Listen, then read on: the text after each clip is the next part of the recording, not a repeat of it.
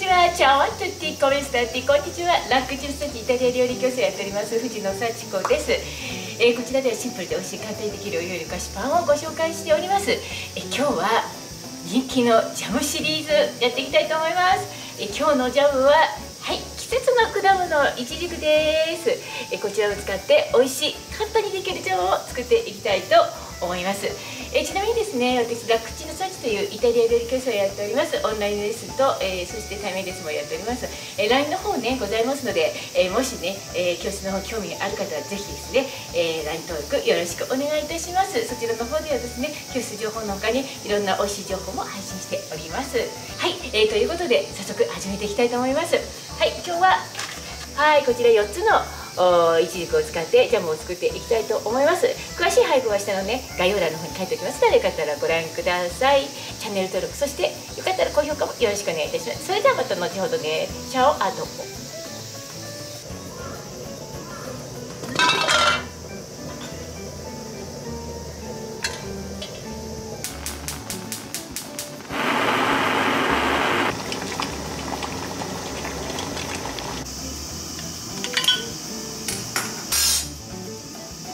い、えー、それではまずこのいちじくの皮を剥いていきたいと思います。そしてねついでにこの身のね重さも測っていきたいと思います。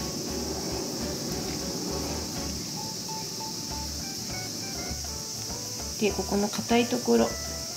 これはね切っちゃいます。で一応ねこれ重さをねこれで測っていきます。えこちらの皮は捨てないでね取っておきます。いちじく皮を剥きました。そしてここにお水を入れていきます。そ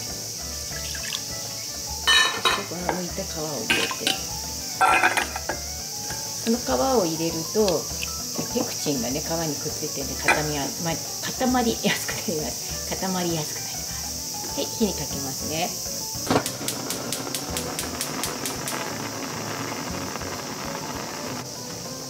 ちょっとね水が少なくなってきたので弱火にしてます、このまま全部でね10分間煮てください、はい、お砂糖は今日はグラニュー糖を使います。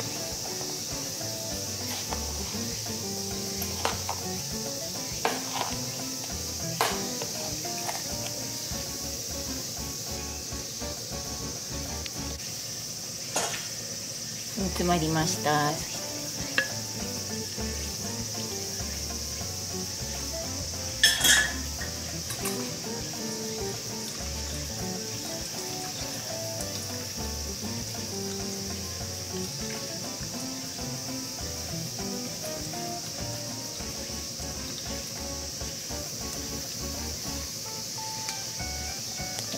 い、これはもうね、えー、捨てちゃいます。さよなら。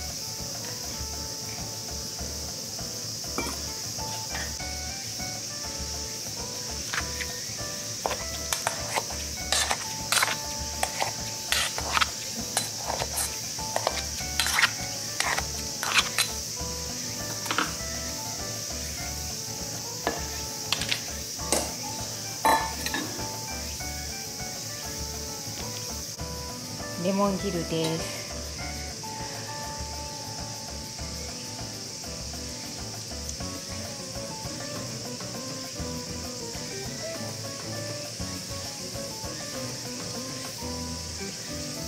身も全部ね入れちゃってください。もし種があれば種も入れちゃって後でね取り除くようにするといいと思います。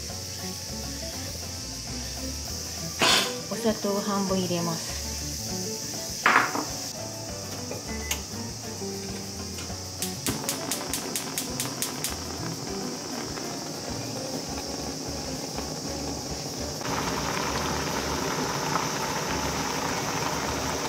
34分経ったのでまた残りの砂糖を加えます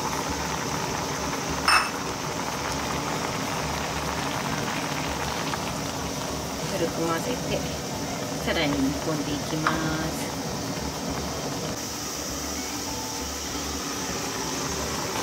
また油出てきたので取りたいと思います。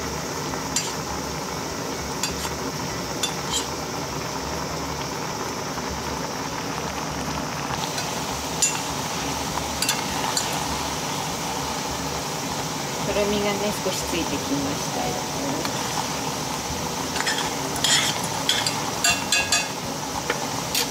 これで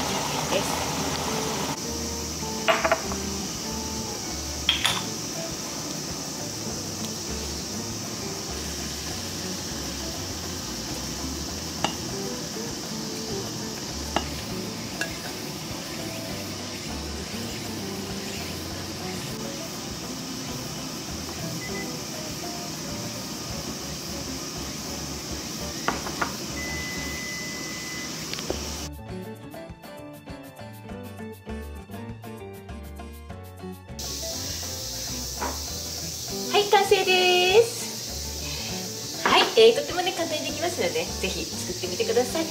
はい、えー、ちょっとじゃあ試食をしてみたいと思います。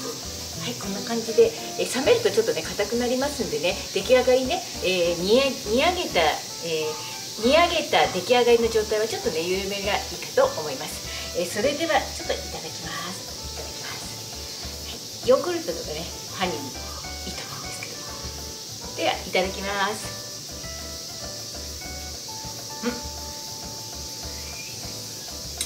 ちじくのつぶつぶが入ってました美味しいですよ。やっぱりねこのレモンが入ってるんでねさっぱりと美味しくいただけます。はい、えー、イタリアではねこういういちじくのジャムって、ね、よく食べられているんですよね、えー、日本でもねいちじくありますのでね今が旬です。ぜひね作ってみてください。はい、えー、ということでこちらのね、えー、動画ではですねジャム他にもいろいろね作ってますんでね他にも見たいという方はぜひですねチャンネル登録そして高評価のよろしくお願いいたします。それではねまたチャオアップロシモ美味しいです。本当に美味しいよ。作ってみてね。バイバイ。うん。